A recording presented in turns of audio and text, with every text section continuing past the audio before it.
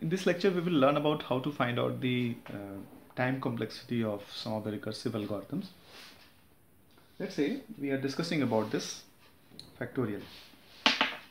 Fine. The last lecture, uh, in the previous lectures, we have discussed about this factorial, how to find the factorial. And uh, the factorial can be found like factorial n is equals to n into factorial n minus 1. And if the value of n is 0, it will return 1 directly. We have designed uh, a program also for the factorial. This is the program for the factorial recursively. Sorry, this one. This is the factor program of the factorial. And we have seen that on every function call, we are storing the activation record in the stack region. Now suppose uh, we have to find out the factorial of 5. If uh, you see the activation records then in the activation record, first we have stored the activation record of 5. Then above this factorial 4, above this factorial 3, above this factorial 2, above this factorial 1 and above this factorial 0. Then you can see that we are at any point of time all these are pending.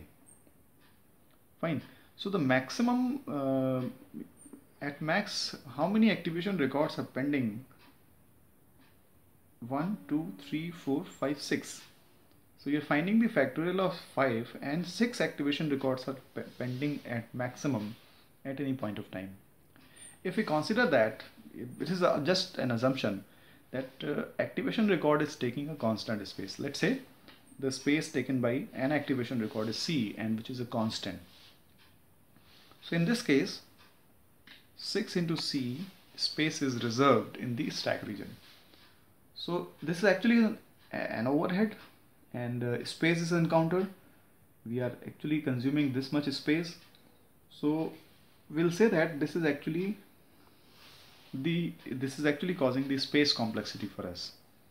Fine? This much extra space is required for uh, the execution of factorial function. So now if we are finding the factorial of n then n plus 1 space is reserved on the stack region in the form of the activation record so we can say that n plus 1 into c because we're considering that for every activation record a constant space is required.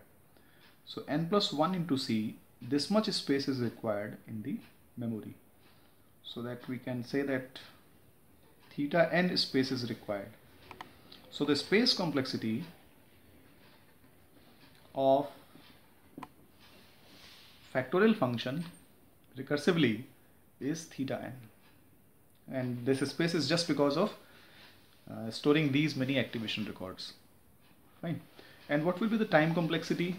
You see that uh, every time you need to every time a function is called you need to check this condition. So if n is 0 you will return 1 otherwise you will call this function. So either you will be doing this or, or, or you will be doing this. Fine. So if you are doing this then in this case the activation records are maintained okay? So doing the push and the pop operations on the stack is required. Fine? Doing push and the pop operation in stack is required. So if you're doing the push operation let's consider this as one operation. So n plus 1 times you need to push the records or the activation records and n plus 1 times you need to pop these activation records. So n plus 1 plus n plus 1 it means this is 2 into n plus 1 operations are required, push pop operations are required. Now if you say that uh, uh, push and the pop operations require let's say the constant time then in that case the total time required is 2 into n plus 1 into let's say a constant c dash. Now uh, 2 is a constant, c dash is a constant, 1 is a constant. In that case, you can say that it is actually consuming theta n time. Fine. So theta n time is required and theta n space is required for this algorithm. So you can see that uh, uh, for the recursive function, we can find out the uh, time and space complexity like this. Let's take another example. Suppose we have to find a raised to the power b. Let's say we have to find we have to find a raised to the power 5. For finding a raised to the power 5, you need to first store the activation record of a raised to the power 5 and then above this you will store the activation record of a raised to the power 4 above this a raised to the power 3 above this a square above this a power 1 and then finally the activation record of a power 0 the base condition has reached. Now you can store the activation record of a raised to the power 0 at the first and you can return the value from here. So these are the activation records. Fine.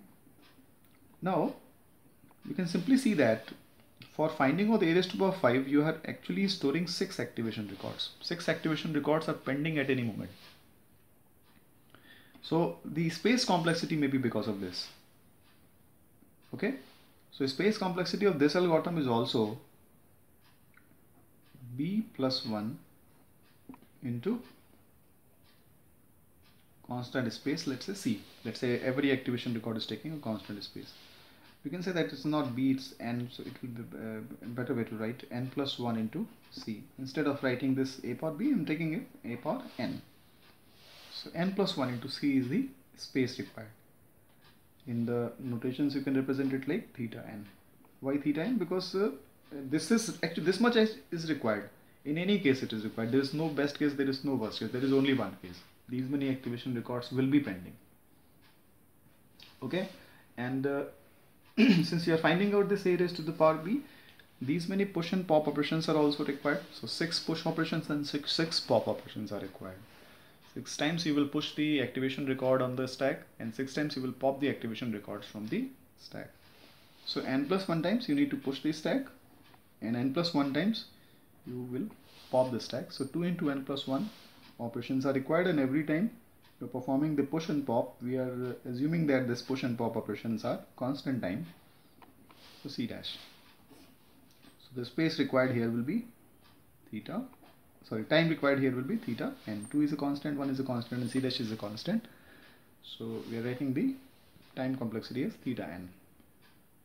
Right? So number of pending activation records are telling us uh, uh, how many how much space complexity will be there and how many times we have pushed the uh, stack activation records and how many times we have popped the activation records are telling us the, uh, the, this is actually helping us to find out the time complexity of the algorithm. Now uh, we've taken another example of uh, computing the uh, Fibonacci number. And if you have this one let's say this finding out the nth Fibonacci number in the Fibonacci series. And in this we uh, more than one recursive function is called Fibonacci n minus 1 and n minus 2 let's first write the algorithm for the same or the program for the same function for the same. So let's say Fibonacci integer n. Here it will be returning an integer value. If the value of n is 1 it means we are finding out the first term. It will return first term directly as 0 it is a base condition. Otherwise if n is 2 this is also a base condition. We will return 1 here otherwise means it is neither 1 nor 2 then we will return Fibonacci n minus 1 plus Fibonacci n minus 2 right so this is the function for recursive function for finding the nth Fibonacci term. Now uh, let's say we're taking an example of uh, finding out the fifth Fibonacci term so finding out the fifth Fibonacci term means f5 f5 can be found by calling f4 and f3 and then f4 can be found by calling f3 and f2 and f3 can be found by filing f2 and f1 f3 can be called by calling a function f2 and f1 fine. Suppose we're finding f6 so we'll first find f5 and then f4 we have already have the resolution of this f5 let's expand this f4 this will be f3 and f2 and calling this f2 f2 and f1 so wherever this f2 and f1 is coming means that we have the base base conditions and the value of n is 2 or 1 fine. Now uh, just to find out that how many times the activation record was pushed on the stack and how many times it was popped or how many pending activation records are there. Uh, let's first compute that how many pending activation records are there. Okay because the number of times we have pushed or popped will be different from number of times uh, sorry number of pending activation records in this case. So suppose we have we have to find out fifth activation record fifth Fibonacci term. So sorry sixth Fibonacci term for example so f6 is called it is pending and we will call f5 and f4 so first f5 is called f4 will be pending. So f5 is called and then from f5 f4 this f4 is called this will be pending. Then this f3 will be called this will be pending. This f2 is called and you can directly return this value of f2 fine? Once you return the value of f2 this activation record will be popped and then you can call this f1 so this space is free. Activation of f1 activation record of f1 can be formed at this space only. At the same place where f2 was. So now f1 is also will be returning a value it will be returning the value to f3 so once we have the value of f3 this f3 can be popped and then we'll call f2 so activation record of f2 will be called or will be made here only then uh, this f2 can return the value directly so this will be pop and then I have the value of f3 and f2 so f4 will also be complete. We can pop this. Then I can call this f3 in the same place where f4 was. F4 has been popped out so obviously uh, above this f3 activation record will be called. So for f3 it is f2 plus f1 so first f2 is called. Activation record of f2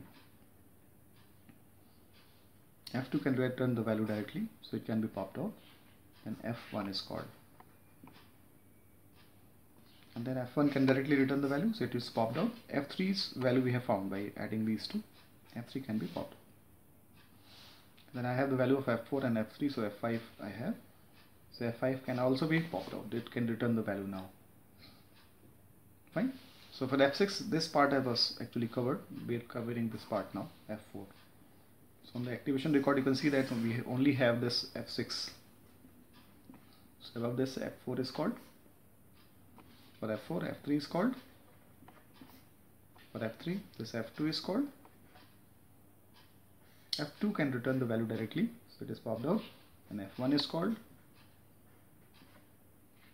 It can also return the value directly. So it is also popped out. We can now have the value of F3 F3's value is there. So we can pop this one also and then f2 is called.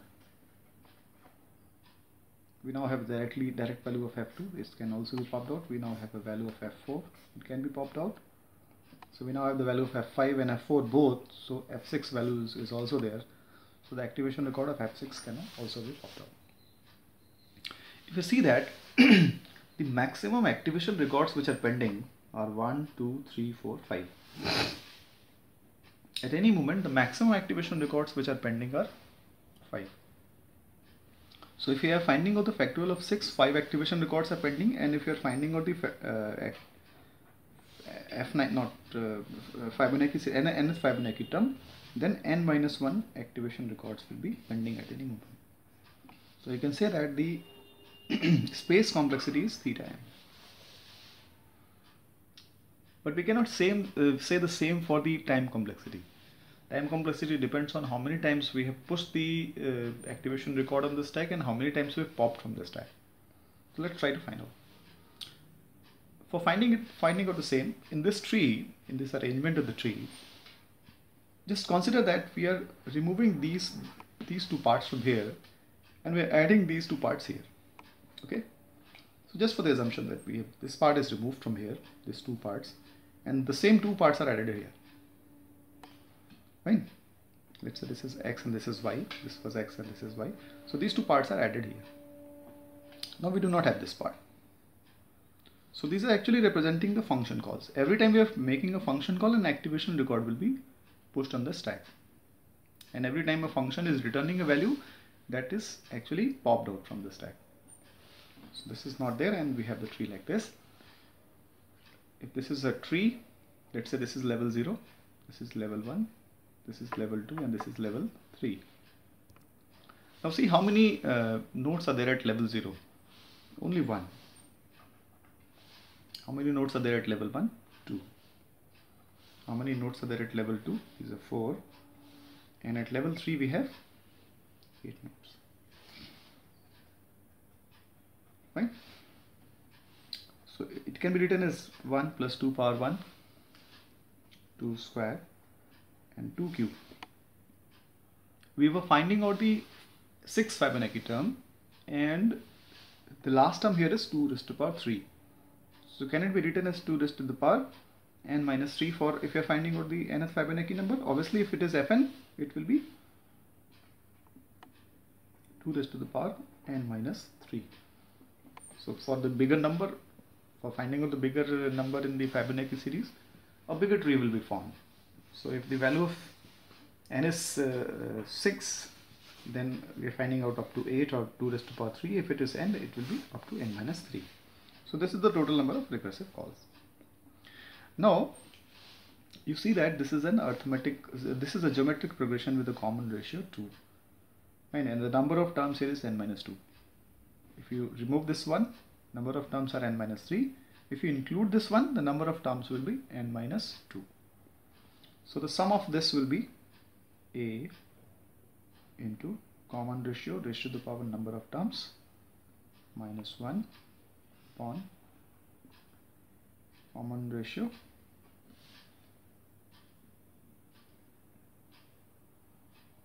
Okay so this is a into 2 raised to the power n minus 1 upon common ratio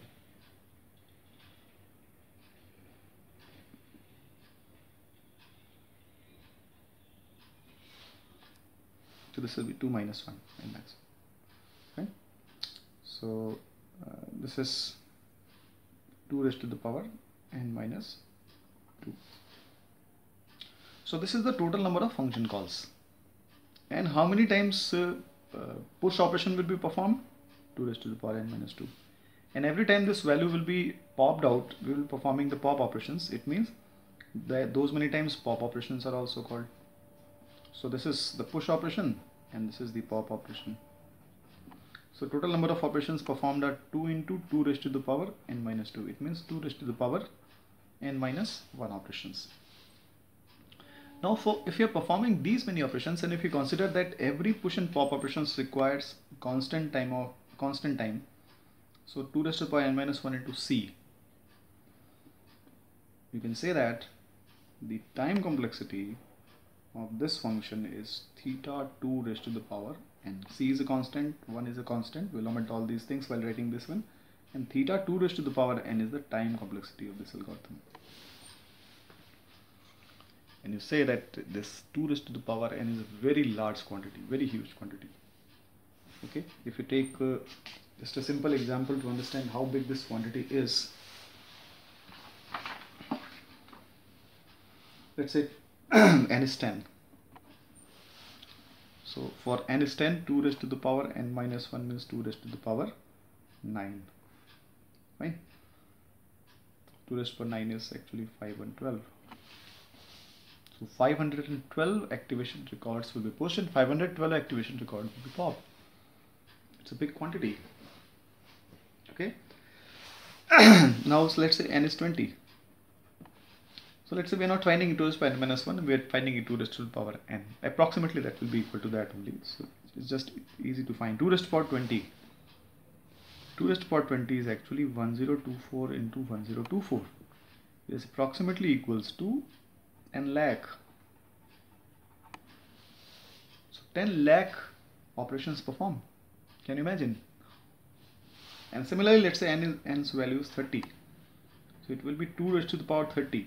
1024 into 1024 into 1024 this is equals to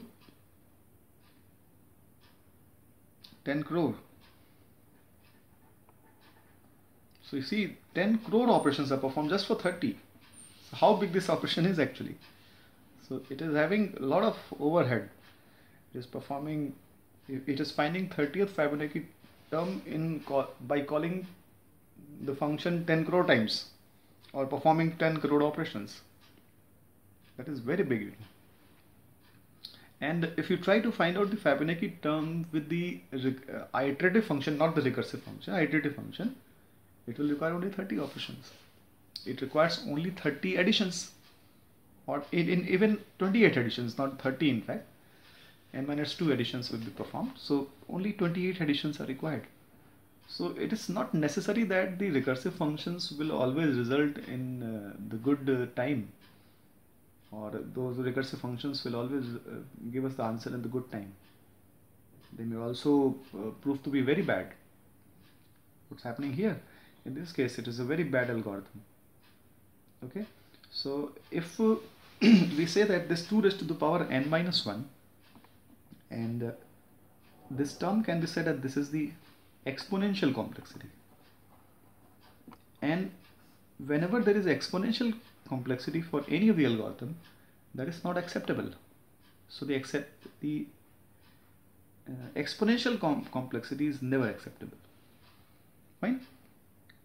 Thank you